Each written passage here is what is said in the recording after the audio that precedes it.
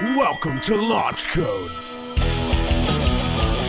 premier business podcast. Starring Evan Hafer, Matt Best, and Jared Taylor.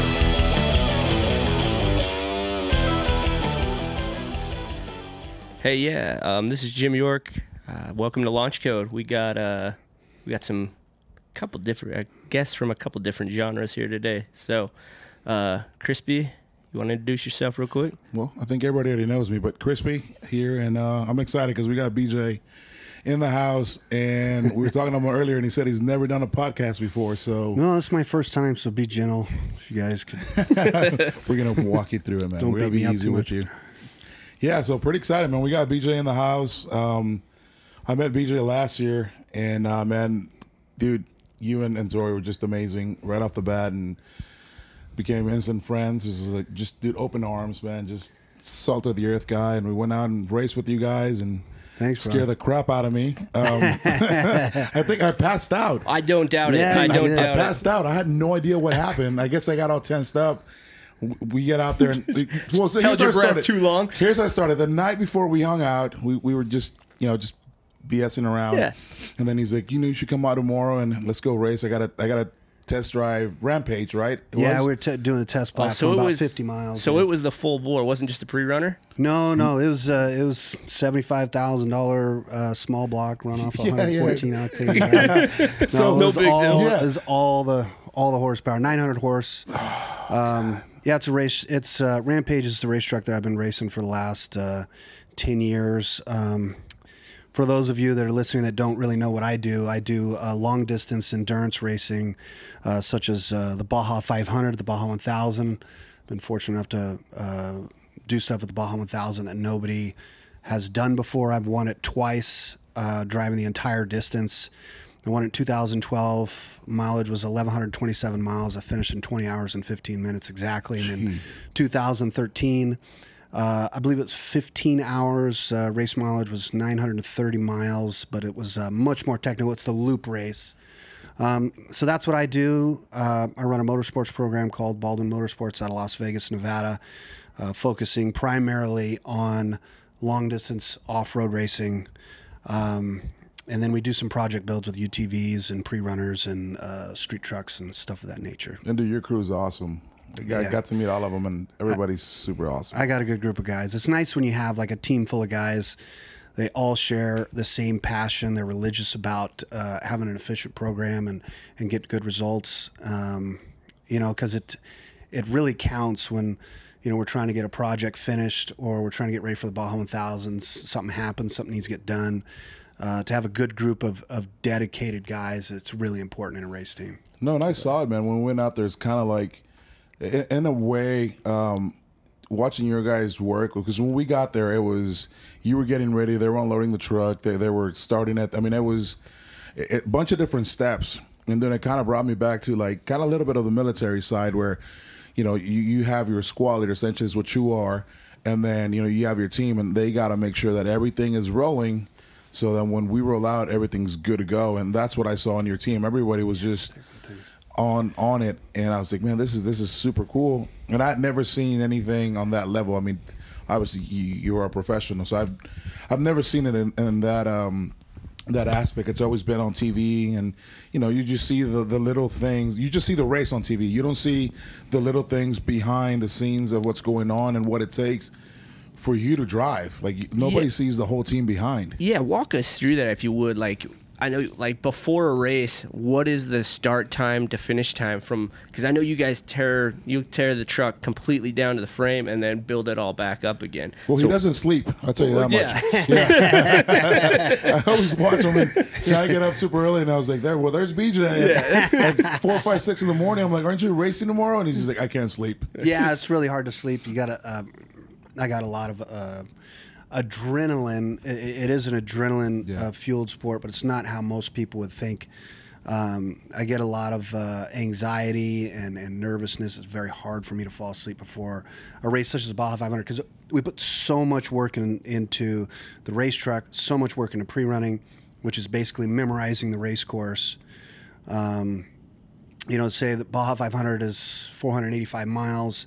I'm trying to remember every single turn, rock, crest, big ditch, uh, bump, uh, tree stump. Um, you know all this all this stuff that I have to And you're playing all that in your head. Yeah, it's not like it's not like traditional road racing, um, you know, or even even rally racing. It's similar to rally racing. You, you only get one opportunity to run that one corner, and there's no other corner like it on the planet. Or there's no other jump or crest or big ditch like it on the planet. Um, you only get one opportunity to do everything perfect and maximize your speed. Um, you know, limit your risk depending on what's going on in that particular race. If um for example, if I'm, you know, 45 seconds down, I have, uh, let me turn my phone off, and I have, uh, you know, somebody like uh, a really fierce competitor in front of me, and I have 45 seconds to catch him in the next uh, 18 to 20 miles to the finish line of the Baja 500. I've got to take an exceptional level of risk, and a lot of times in my head, I'm trying to pull stuff off in situations like that where I'm like, I'm probably going to crash um, but let's see if we can, uh, you know, go outside of our comfort zone instead of running 95%, uh, run 115% and see if we can get away with it and get to the finish line. And how fast were you going? I my truck on the pavement, it's done 147 miles an hour in a race. No big. Yeah, yeah, just 147. Yeah, just just a cool 147. Well, And, you know uh, what? When he took us out, because we drove, he Yeah. picked us up. We were in his Porsche, and uh, I was, I kept looking over at the dashboard, and he's like, just. Well, no, I've seen the video. I've seen the like, videos. Is he's, "Ah." yeah, he's cruising down the freeway doing 120. Just Oh, yeah, he was going Sunday- faster than that. Yeah. I was scared. Oh, that's why I say cruising at 120. Well, in the car, I wasn't scared, but I was like, I want to see how fast he's pushed us to. And I mean, he was getting out there, and I was like, yeah. But dude, when we got on that that thing, so, so I'll circle back. We get out there, and dude, I'm a big fucking dude, and uh, he's trying to get me. He's trying to get me through this little window, and I'm like, man, my fat ass is not gonna fit in there. And then none of the suits really fit. Right. So I put it on, but it wouldn't zip up. So I was like, all right, let's do this.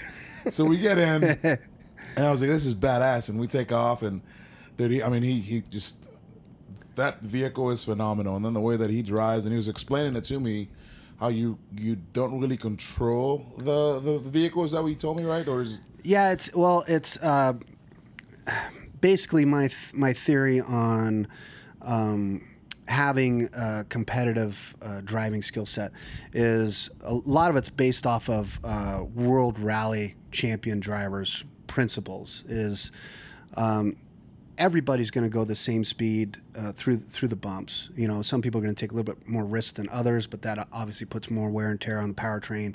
You could break uh, some kind of clutch or part or converter or whatever. But not everybody can do what I've been fortunate enough to learn in the corners, uh, whether it be really bumpy or whether it be a dome-shaped road uh, with a rain rut on the right side and rock wall and a hundred foot cliff. And I'm going 75 mile an hour. yeah. Again, no, he not says a. it's so chill? Yeah, like, just like. I already go wide eyed just picturing it. Yeah. that that's the skill set that uh, that I've been able to develop is is the car control under uh, or truck control, uh, what have you, under situations where you know the truck is sliding sideways, and uh, I max my goal in in in cornering. Trophy trucks or ra- or off road trucks are the most unstable uh, race vehicles that that you could possibly drive because of the way they're set up. They're designed to go through real big stuff, three and four foot bumps, 115, 120 miles an hour. They have to have a lot of wheel travel to do it, which makes them very unstable in the corners. Well, yeah, I remember you taking me for a ride, and I was like, well, "So, what is this suspension like?" And he, he he's, instead of explaining, he you know he drifts over. with to- you? Yeah, drifts over. There's a median, and it's one of those big fucking curbs. And next thing you know, like he, I'm like, "We're gonna we're gonna hit that," and just slammed right into it. And you didn't even feel it, like Yeah. that. Yeah, just no big deal. I was like, Damn. "Holy shit!" All right. Yeah. Well, dude, that's why I was scared because we get out in the desert and he's hauling ass, and I see water. You know, I had rain or something. I'm like, in my head, I'm thinking, you know, my pickup truck back at home. I was like, yeah, there's water, and then you hit it. You're gonna stops. hydroplane. You're- yeah, yeah, you- You do the hydro, hydroplane for a little bit and then stop. Exactly. Right and there. then so I'm- I'm holding on to everything inside the truck, and I look over and, and he's just like, he's so focused. You can see his eyes. He's just in another world. And he hits that patch, and I was like, "Oh shit! Oh shit!" Dude, the truck did nothing. It was just Well, we're going 136 miles an hour. Yeah, yeah, So it's, you know, it, it doesn't. It's kind of like a, a like a like a water ski effect when you're going anything over 75 mile an hour. Um, obviously, the truck's going to lose mile an hour because it's not getting traction on the way across like ponds and stuff like that. Yeah. Um, but if it drops below uh, 65, it's going to go to 25 miles an hour real fast. If it's more than six inches of water, it just it has so much resistance. But if you're going from 75, uh, you know, up to 140, if it's uh, the faster the better. If it's it could be like a 200 foot uh, pond. Yeah. And it'll just glide right through. You got to make sure it's straight. I've had them go sideways before, and Oh, it is really? not fun. I went sideways. I was pre-running. Jeez. I was going about 85 miles an hour through a pretty fast road with some rollers, and a farmer had flooded the road, like for fun. You know, and they're What? there. Just to create an obstacle for you? yeah, Because you know, the race isn't even hard enough. It wasn't even a race. It was uh, it was just pre-running before the race. Whoa. So he flooded it, and he flooded it on one side of the rut. So there's like a the shape of the road if you're looking at it right down line of sight. There's a crown on the left side. Then there's a, a tire print where that's it's like a it's like a depreciation in the road, and then there's a crown in the center, and then another uh, depreciation of the road where the other side of the tire goes. So, so one of them, I think it was on the yeah, it was on the passenger side. It was flooded for 100 feet, and I was going about 85 miles an hour. So it had a lot of resistance on the right side of the truck, and it wasn't there the day before. It was like a rise where you can't see over the over the top. But I I already been over it three or four times. I knew it was straight for you know 200 yards. Yeah. And in the race truck, I'd be going you know 110 over it. Um, so I was going about 85 in the pre-runner, was clipping along, and it was like too late to do anything about it, and it just grabbed the right side of the truck and just ripped the whole chassis uh, sideways. It didn't break anything, but like the whole yeah, truck yeah, yeah. just Just pulled you. went to the right, and I ended up going over like a four foot mound of dirt sideways through a farm fence and over into where like they're doing like all the agriculture and planting all that stuff Oh damn. through the mud, and then I had to drive back through the fence. And I, the guys were like watching. The guys were watching the whole time. They're like, "Really, this motherfucker just smashed hundred feet of fence." You know, I felt super bad. I gave him a couple hundred bucks, and, and it's, always good to have a couple hundred bucks. You're in covered. Baja. Yeah, so dude, shortly after that, dude, I I honestly don't remember what happened, but I blacked out and like I woke up, I was like, What happened? And he's like, What do you mean? I was like, dude, I think I passed out. and he's like, "You're good? I was like, I I guess. He's like, All right, let's circle back. And we came back around, then he dropped me off. But I till today I, I have no idea what it was. Maybe I tensed up too much and I stopped breathing. I don't know. But That's I crazy. blacked. I, I, I, I remember that very vividly because I think you're the first and only person that it's blacked out. But uh, I've had people throw up like all the Yeah. time, all the all the time. And the best people uh, to take for rides are um, people that have been offered a lot, and a, a lot of military guys.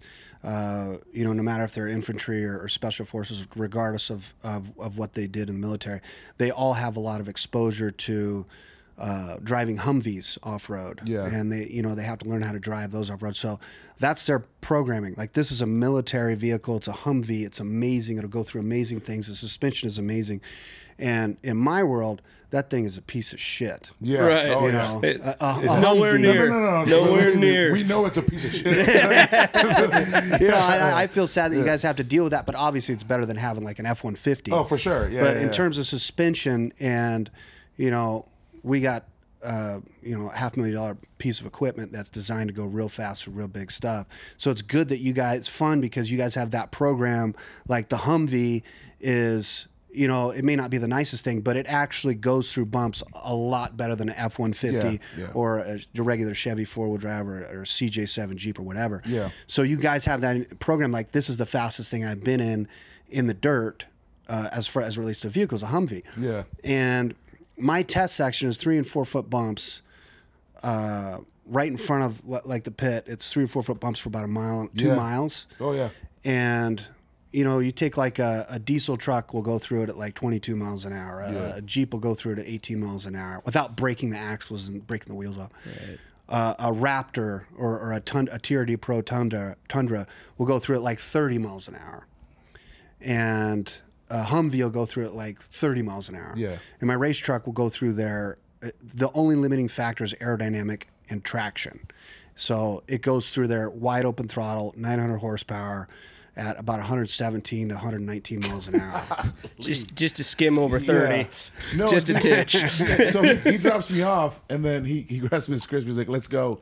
And they do that thing. They turn around, and I just just see the truck, room, just swing on by, and it was just bump after bump, and dude, the truck wasn't even moving, man. It was just doing. It's you know, crazy to yeah, it's crazy to experience watching it outside or being inside. It's it's just a whole nother level that yeah, you like a you know you go for a ride in a Ford Raptor or you know or something that's outfitted and supposed to be the highest end you can buy as a No. as a consumer, and then you're just like, No. holy shit, this Yeah. is this is garbage. No, I, I'm telling you, I, I, we, I went off roading after that, and then a bunch of other stuff, and I'm just like, this is shit. Yeah. Like, this sucks. I'm like, I, I need the suspension that BJ's truck has. When you're running the the 500 or the 1000, what is the distance that you can go before you have to pit and get, you know refuel? And is there you know when you're doing that, you're wide awake the whole time. It's no like there's no breaks. It's maybe slug some water and just keep going, right? Yeah, no, my fuel stops 27 seconds. I get fuel and tires. I get uh, 85 gallons of fuel, two rear tires in 27 seconds. That's that's our like No kidding. that's our platform. So yeah, and I go, uh, I go on 80 gallons of fuel. I think I go like 180 miles, depending on. I get less fuel mileage in uh, certain parts of the world where. Uh, it's real sandy, and we're spinning the tires a lot. We're consuming a lot of fuel to do that to paddle our way up to speed. Yeah, motor's working a little harder. And for Yeah. those that don't know, like you have your crew that's following, right? As like your, your whole truck with fuel and everything. And Yeah. once you stop, they, they kind of haul ass towards you and, and get it done, or how, do, how does that work? So I have uh, I have six uh, chase vehicles, support vehicles. They're all they've all got tool beds on them.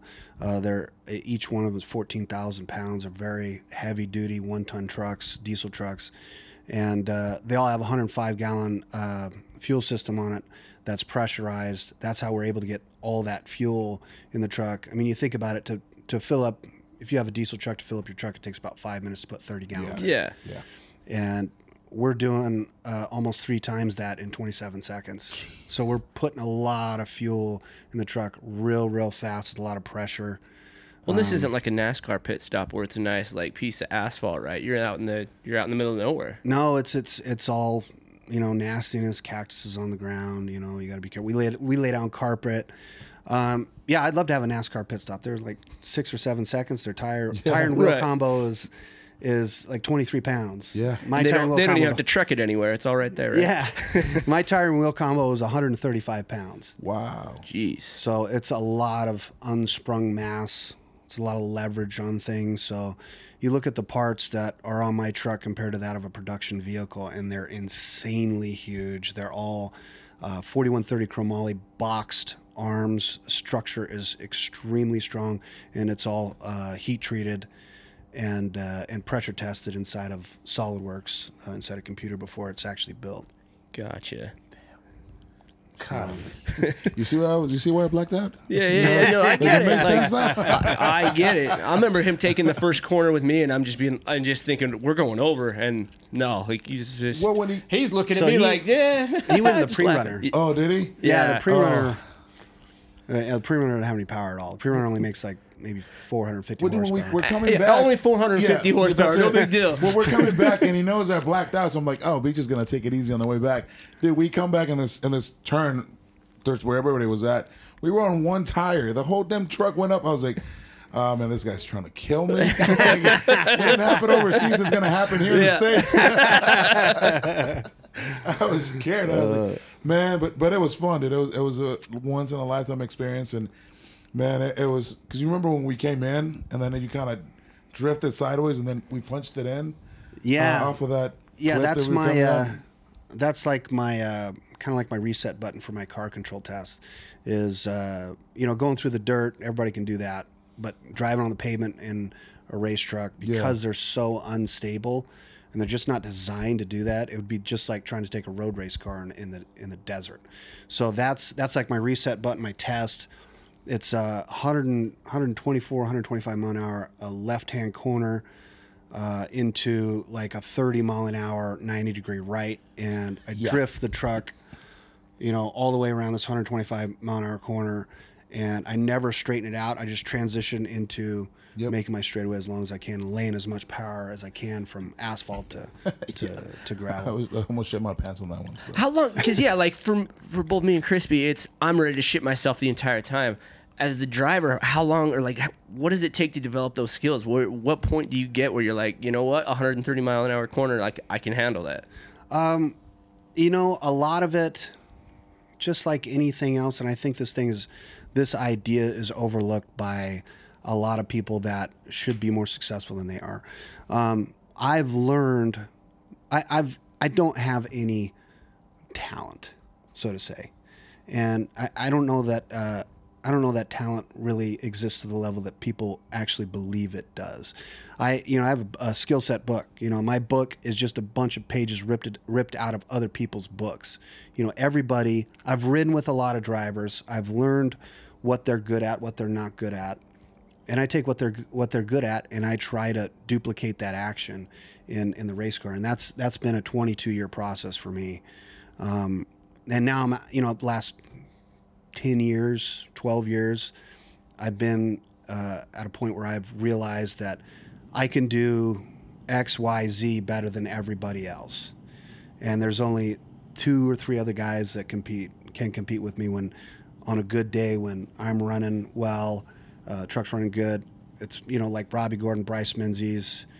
Um, those are like those are like my two guys that have amazing skill set. But you know, it's for me. I was passionate about the sport, and I was passionate. It's very interesting. It's a fourth dimensional form of motorsports that is so grueling. Uh, I wanted to be good at it more than anything else, and I wanted to learn from people that were smarter than me. I learned from Larry Ragland. Yeah. Uh, trained with him for for several years. Uh, Brian Collins, Pat Dean, um, Robby Gordon. I was kind of a he was kind of a mentor to me when I went and did Dakar in 2000. I did D- Dakar in 2008. I actually beat him too in 2008. Oh, wow.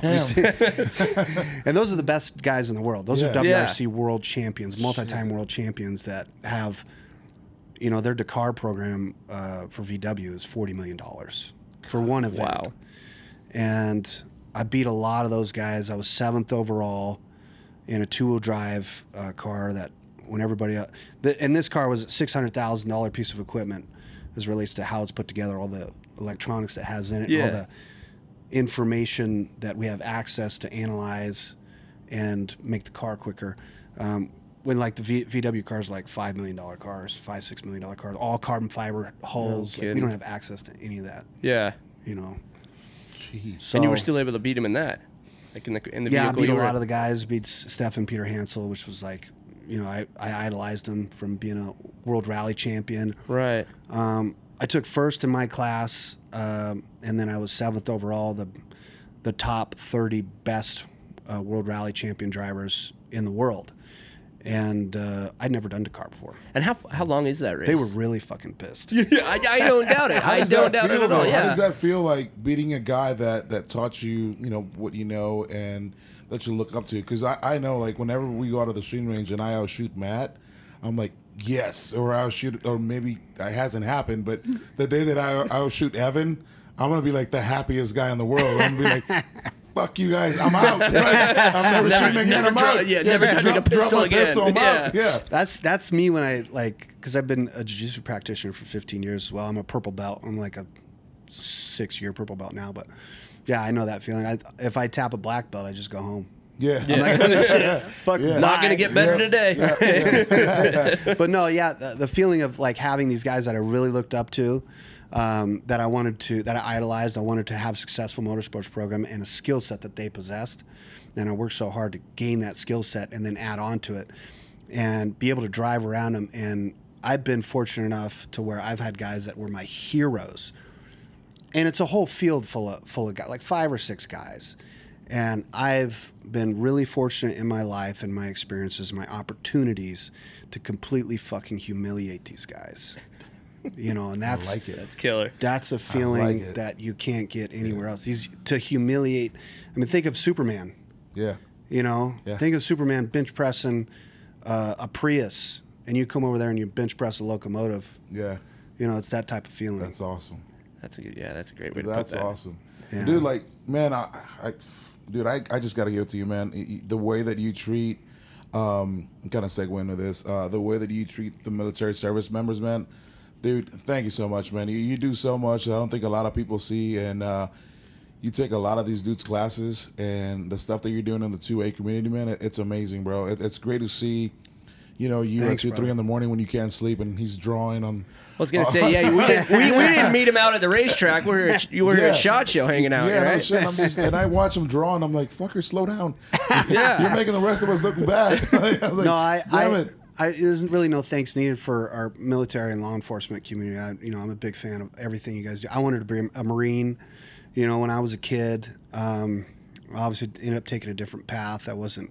I, sh- I should have, you know, I should have gone. And I know I'll get the guys on my gram right now. I'd be like, "Never too late, motherfucker." Yeah, yeah. but uh, I, I idolized those guys. You know, I, as uh, as a kid, I watched movies of you know Delta Force with Chuck Norris. And, Yeah. and movies like that, and I really idolized those guys. And I always loved shooting. And um, you know, the thing for me that really built my skill set as it relates to defensive pistol shooting is having a kid. You know, and, and uh, that will increase your performance uh, in life, Yeah. and you will work your ass off to be the best person you can be, the best father you can be. And for for me, I I had a situation in traffic uh, where I didn't have my gun on me years and years ago. My son was my son's ten now, but it was about ten years ago. Yeah. he was I think he was one or almost one, and uh, I was taking him to lunch, and I had a situation where I should I should have had a gun, and uh, and I left it in the other car, and then for me I started. Uh, it was just my goal to be the most dangerous father in the building sure. at any given time. Yeah. And so I started studying uh, Magpul Dynamics videos and doing a lot of dry practice at home, and uh, did that for several years. I never, I never took any pistol rifle classes till the last five years, and then I started uh, training with uh, training with Barrett, Yeah. and so Barrett True Exodus. He uh, he's not a military law enforcement Nope, guy at all, nope. but you cannot deny the Dude, that guy can shoot. Yeah. and That the guy bullet is placement. Crazy talented. I mean, Yeah, dude picks up any pistol. It could be your pistol, and he'll I'll shoot you with your own pistol. Right. yeah. Like he, he's he's good. I give that guy props. Yeah, so I've uh, that was that was a major turning point in uh, how I carried my gun because I've had a gun on me for the last fifteen years, Yeah. twenty years, and uh, how I carried my gun and how I trained and how I practiced, what my goals were, um, and it's you know my goals have been you know learning a little bit more about low light tactics. A lot of stuff happens at night, all the bad Yeah. stuff, Right. and being able to neutralize uh, one person with a force multiplier, whether it be brass knuckles, a baseball bat, or a, Yep. a rocket launcher, whatever. it Yeah, is. yeah, yeah. Or uh, for, force multiplication in, for, in the form of multiple people that have bad intentions. And so my balance of speed and accuracy with the pistol has gone way up from working with Barrett. Um, we became friends, and then uh, took some classes from uh, uh, took Dynamis uh, Alliance Pistol One class. Yep. best Pistol One class I ever took because it was all escalation of force. Yeah. Um, and being a jujitsu practitioner, it was nice to see. Those good things combined. Yeah, kind of- that Yeah. combined, and and I've worked with. I I was fortunate enough to be involved in jujitsu where. You know, and no disrespect to women or children, but there were where there were none at the time. Yeah. And if there were, there was a couple girls in the class, but uh, the the only people that were there, including the women, were people that wanted to be professional fighters and people that wanted to hurt other people. Got you. You know, people that want to be. And I was like, Yeah. It I Wasn't was for kind of a street self-defense, fighter. It's kind of yeah. the other way around. Yeah. I was like a, like a like a when I was younger, I was like a bar fighter, uh, street fighter, because I had like a bunch of guys that were always you know neutralizing uh, people that were picking on other people, Yeah. Mm-hmm. and so that was kind of like That's my favorite thing to do. I know it feels so good. Right? It feels so good. So, uh, and I got I got smashed in a, a street fight by two guys, like when I was like 24 years old, and that's when I started training. Yeah. I've been friends with Dana White for 20 years. He was training. He had just had the OC for two years, but um, it's cool to take the Dynamis Alliance class with Dom and uh, and see what they do. Man, the, the the things that that they teach, it's like, dude, that's forever. Right. Yeah. That's gonna hurt that guy forever. He's never gonna forget. That's not a full recovery. Yeah. yeah, gonna never. Twice. before he ever does the same thing again. Yeah. and jiu-jitsu is really effective and so is boxing um, but you know next day the guys find like they're teaching like hyperextending necks and, and breaking uh, permanent damage to ligaments in the leg and the feet and it's awesome to learn that type Yeah, of Yeah. stuff Hell yeah. you know um, and then i had uh, in his class i had uh, uh, force on force with uh, the sim rounds Oh, which yeah. was super cool. I got jumped by That three guys. I got jumped by three yeah. guys, and he, and he tells everybody like what you're good at. You know, so he told everybody like I was really really fast and get on his gun and make sure his gun doesn't come out. But I managed to get out and smoke all three guys. nice. Killer. But that was uh, that's I have a lot of fun training, um, doing low lights. We just did a low light class, and uh, you know, above all, as it relates to you know my interactions with uh, military guys, you know, uh, you guys are our heroes. I just do not think that you guys get anywhere near the respect that you guys deserve. If anybody's listening to this, um, which I know you guys have a huge audience, there's tons of people listening. You got a guy that you know that's in uh, law enforcement. You got a guy that you know that's in uh, the military, regardless of what they do. Tell that motherfucker thank you because you do not realize uh, what kind of world you would live in without them, without good human beings willing to build a skill set based on being violent so other people, you know, uh, don't come in this country and do bad things to your family. You know, so if you know somebody in the military, tell them thank you. If you meet somebody that's in the military or a vet, shake their hand, say, you know, express your gratitude for their service. And, uh, you know, I'm forever grateful for uh, our, our military, you know, brothers and sisters in the military in all different branches. So I, I uh, that's my favorite part about SHOT Show Yeah. you know, because we have so many special operations guys here um, that are smashing bad guys all the time. It's the coolest thing to hear their When stories. they come and hang out here. yeah, and they come and hang out here. It's so cool. That's my favorite Why don't part. we get shit faced? Yeah, we were talking about it on the way up here. Right. He's like, you know, this this is the one trade show that I see everybody just get hammered every day. oh, they don't hold back, man. I go to SEMA. You know, I'm, I'm big at SEMA. I'm all, at all the SEMA parties. And they don't they don't roll like you guys do. You, you guys party like half throttle. Well, you know yeah, what? The, totally but- half throttle. But you just said it a little. But you know what the difference is? Is that some of these guys are gonna get redeployed again, and who knows that they're gonna come back or not. So yeah, it's just one of those things, man. And and honestly, it's just this. Shot show is a big fucking reunion, man. Everybody comes together. from That's all what I over the see. country, and it's just like, it's wonderful. yeah, dude. It's just like, when was the last time I saw you? It was last shot show, right? Yeah. And then we it's we the stay same- in touch, but we live on separate sides of the planet. You know. But once we see each other, it's like we pick Yeah. up where we left off. It's the same thing here Yeah. with everybody. And that Yeah. that's Yeah. what is amazing about Shot Show. And that's why I love it. And that's why I love coming and just meeting everybody again. Yeah, I It's a love cool that. community that all kind of comes together once a year. Yeah, Yeah. it's great.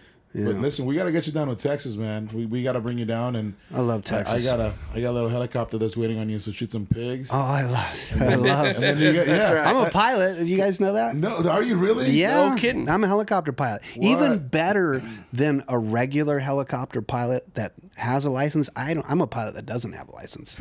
Really? So that's kind of cool. I, well, dude, uh, uh, Brendan Harold, as we was talking Yeah. about, yeah, I love him. Yeah, we Great can get out dude. his, his chopper and go do some stuff. Yeah, stuff. I actually flew that chopper. Did you really? Yeah, yeah, yeah. Oh, yeah, because he took it down to Mexico, right? Uh, no, I, is that where I you flew, flew it in. Uh, I flew it in Texas when I went to uh, F1 to go. Oh. I, actually, Right. in Houston when I when I drove right, the when we did rescue the missions. stuff. That's right. We were talking about that. Yeah, me and Dan were doing the, the rescue missions in the uh, in the. Uh, I got to do that for three days in the, the big military Yep, trucks. yep, I remember that. That was awesome. Um, but yeah, dude, you got to come down, man. We'll go shoot some pigs out of it. Hell have a good yeah. time. Check out the headquarters, the Black Rifle headquarters down in San Antonio. Yeah. Yeah. and, uh, and just meet everybody, man. I think you guys will have I would fun. love that. We'll go shoot, blow up some shit, and just Yeah, have a good old yeah. time. That'd be awesome. I want to Yeah, kill man. a pig with a knife. That's doable. I, I can make that happen Yeah. right now. And one phone call, done. Just show up and we'll get it done. Because that's like serious, you know. So I took um, I took two Gold Star kids. Both of their fathers were uh, SEAL Team Six guys. Uh-huh. Fortunately, got killed in the line of duty. and um, I've known these kids since they were 14. They're 19 years old now. And uh, this past season, I, I called their moms and I was like, "Hey, listen, I want to take the boys hunting. we're gonna set it up, and she's they were ex- just beyond excited. They're like, make it happen. So booked their flights, flew them in here, and uh, flew them to South Texas. We take them out to the ranch, and one of my buddies comes over with his dogs, and he goes, "Hey, you guys want to go chase uh, pigs with the dogs, so the boys can stab them with the knives?" And uh, the boys are having dinner, and they listen to, and they're like, they both get out of the table. They run upstairs. They come back down. Both of them have daggers from their fathers that their fathers had left behind. Oh my Uh, God. and they brought them. He's like, "Can we use these?" And we're like, "Yes." So That's the next awesome. morning, we went out, let the dogs out. You hear the dogs barking, and we start making our way in. Dogs um, pinned the pinned the hog down. We come over, just kind of step on them, and then the kids all stabbed him, dude. And the That's their faces, awesome. man, were a great- uh, yeah, they were super excited, and you know when they went home, their their both of their moms called me, and they were like, "What did you do to him? He will not stop talking about this hunt. Like he wants to do it every year now." And I'm like, "Well, we'll do it every year if that's what they want to keep doing." I'd love to take my my ten year old son Jaden out there. bring and Jaden. Yeah, bring him on down. Yeah, him. Yeah, he's bring him down. such a G man. He's Well, I've been I- I shooting him- with him, and he can shoot. Yeah, he can shoot. I, I I'm uh, I got him on a seven inch uh, uh, 300 blackout with the the Omega suppressor. Nice, because you guys do. Uh, uh, you told me last time we were hanging out. You guys do a yearly trip, right? He goes uh, duck hunting in California, I think it is. Yeah, Stockton, California. Um, it's uh, Mandeville Island. Uh, Tony Marnell owns it. He built most of the casinos here on the Strip. He's a, in, obviously in casinos construction, but uh, it's I've never seen anything like it in pictures. This this duck hunting place, it's amazing. It's beautiful, and there's a little bit of wind, a little bit of fog. These ducks and geese will fly right down the muzzle. So I my, my dad's actually been clocked Yeah. by uh, by a duck. What? Yeah, he's been hit in the face by a duck. Really? Actually, we out both have. No kidding. Like just Yeah. sitting there and they smacked them? Like the birds He had no knocked him. clue? My my dad is the gangster. As a, he does not touch a pistol or a shotgun or a rifle all year long, and he brings birds out of the sky that are out of lethal effective range. Really? He is a G dude. He's so surgical with I his would, duck and I would ne- I wouldn't guess it because I met his dad. We hung out one night and he's just yeah. real cool dude. No, he's a murderer, man. he's a murderer. You got to bring him too then. Yeah. Dude, he would love it. He That'd would. Be awesome. Bring Yeah. all three. yeah, Yeah, all we'll three go. of you come. Let's go. Yeah, Dude, that'll I'm be telling you, bitching. you let Three me know when, generations. I'm gonna set it up. Yeah, let's do it. Yeah. I'll have to get my schedule figured out, but I'd love, on. love to. Yeah, what do you got coming up next? Is it Uh, I've got the uh, uh, Toyo Tire Invitational at uh, J- Johnson Valley in California. okay? Um, top 20 of the best uh, trophy truck drivers in the world showing up, and um, it's going to be really interesting. 80 mile laps. None of us have been around the course before. It's where they do King of the Hammers, but it's not. yeah. On, it's not on the rock crawling part. Obviously, our trucks wouldn't make it 10 feet through that stuff, but it's it's in the open desert part of it. Oh Okay. wow. Gotcha. Yeah. So Is that gonna be televised or uh, uh or is this one I'm not. I'm not gotta go? sure. I'm not sure if it's going to be televised or not. It, it might be. I, I gotta come out of one of these races Yeah. one year, man. I, I Yeah. know we've been talking about it. I gotta come and just check it out. Yeah, it's great. It's great. And then are you doing um? What was I gonna? Say? You're doing the you're doing Bajas again this year, correct? Okay. Mm-hmm. Yep, I'm doing the Invitational, the Mint 400, the Baja 500, and the Baja 1000, and then I have a bunch of different film tr- projects scattered in between all that stuff. We're gonna see another recoil in the mix. Uh, yeah, I'm trying to get funding for another recoil. Um, yes, it's uh, you know it's a million dollar production. Right. Yeah. We're filming with cameras that cost 130 thousand dollars each. and Yeah. got, you know, I mean, They 10 got those- like seven. yeah. yeah, that, I mean those are definitely a production, but they're always like that's, That's what I just wait to favorite. watch. Yeah, That's like one of my favorite things to do. Dude, that that is one of my favorite videos that you've Yeah. ever put out. That oh my god. all I of them are watching it, amazing. Yeah. yeah, But I love watching fun. that one. I've seen it I don't know how many times. It's- Cuba is really special because it's the first film, it's the first American film to come out of Cuba since 1961. Really? So that was I didn't a really realize cool that. thing. Yeah. Oh wow. Yeah. That that makes sense now that you say that, but I would never like I never Yeah, no thought about kidding. that at all. And it was sketch. It was really well, I sketch. remember trying to get you some stuff, and you're like, "Man, we're dealing with the with the Cubans, man. Just no, No, they're crazy, and they don't give a shit who you are, Right. You No. know, and we had to we had to pay we had to cut a bunch of red tape financially, Yeah. You know, with and getting permits to like jump over the river on the beach and Yeah. jump down this staircase and do this, And every day we ran into a problem every single day. With Uh, them. Yeah, we'll have, we'll have, we'll have a cop on the uh, on- the standing on the front of my ramp saying, "This is not your country. You can't do this shit in here." And we already got everything worked out with the the government. We got permits for everything. And there'd be a cop. It's funny to see because they have like, uh, you know, semi-automatic single stack Yeah. uh, pistol that I've never seen before. It looked like that came out of Lake Mead. oh my god, dude! How how how impressed were they when they saw your vehicle? Because you know they they these people literally have boat parts in their cars just to make it run. Yeah. Uh, oh, let's talk about their vehicles real quick. Yeah, I was gonna say. we'll talk about my their well so my vehicle they're like in america anywhere in america i bring my vehicle as a display vehicle people look at it and they're like man i can't believe the craftsmanship uh, i can't believe uh, I've never seen a vehicle like this. I've never seen a truck like this.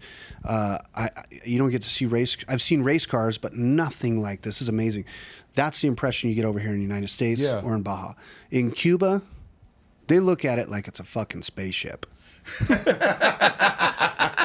you know, they haven't seen a production vehicle uh, that's newer than 1961 since 1961 Right. Yeah. you know so and and all their cars it's here's a here's a good comparison take a 55 bel air classic car right a 55 cherry red uh, bel air here in the united states um, it's got a twenty thousand dollar paint job.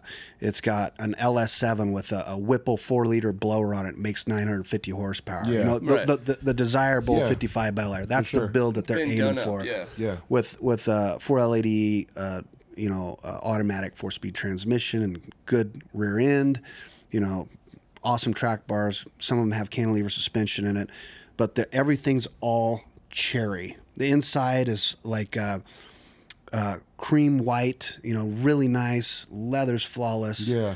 You know, so in uh, in Cuba, that same car is a taxi You're right. Yeah. and it doesn't have uh, it doesn't have the twenty five thousand dollar plant power plant of you know like an LS motor with a Yeah. supercharger on it. Right. It's got a Russian diesel six cylinder or five cylinder engine that makes eighty horsepower and one hundred and twenty foot pounds, and it smokes like a fucking locomotive. the the tires are so bald you can see the air inside of them It's they belts more have than no tires. shocks, just springs, leaf springs, and every time you turn a corner in them, it rubs a, like a big hole in, in the wheel well. when you get inside the car, there's wooden panels. And, and a dragonfly globe shifters and chain steering wheel and the whole the whole inside of the car smells like prison sex and burnt hair. I mean, you, and they, they've got three million miles on them. So it's it's quite the same exact car from the United States to Cuba is vastly different. Yeah. You know, Yeah. it Sounds a little. Oh man. they don't Yeah. even put the top up when it rains. they don't even. This might That's, it. float. That's the only time it gets Yeah. washed. Yeah. Yeah, Yeah. this might float. If it, if it gets flooded, it's gonna float. we, we So gotta that was very for this. special. Yeah. Exactly. Oh man. Yeah. Well, listen, brother. We, we really really appreciate you for coming on, and dude, seriously, we can't wait to have you in Texas. Yeah. We need to get you Absolutely. down as Just soon come as have a possible, Thank you, man. thank you for the invite. And- and thank then you for having me. I'm pretty me. sure on. everybody on here knows who you are, but let, let them know your social medias and where they can follow you and find you and, and all Yeah, that and- good stuff, yeah. so they can come check you out. Uh, yeah, you can follow my very, very not boring, uh, very exciting adventures um, uh, on Instagram. I'm BJ Baldwin uh, at BJ Baldwin on Instagram. It's my name, and then I'm starting a YouTube channel. Uh, brand new. I only have like a thousand subscribers right now, but we just launched it this week. It's going to be under BJ Baldwin, and then my Facebook is under this silly name that uh, I thought was funny, but it stuck. Ballistic BJ Baldwin. yeah. Um, but it was like a. I like it. I, I know everybody likes like it. it. I did it to like make. I put it on my truck to make fun of like another driver that had some silly name in Yeah. 2003, and it just stuck. That, You know, is it's what's like- going to happen there got. for sure. Yeah. yeah, but uh, It's uh, at BJ Baldwin on Instagram, BJ Baldwin on YouTube, uh, Ballistic BJ Baldwin on Facebook. Um, I have a Twitter account, but I don't really use it. Yeah, neither do I. Yeah. so Awesome, brother. Well, thank you so much, man. Yeah, We it's been a pleasure, appreciate you, man. brother. thank you. It's been a pleasure hanging out with you guys. I look forward to this this week every single year. Heck yeah. Absolutely. Cool.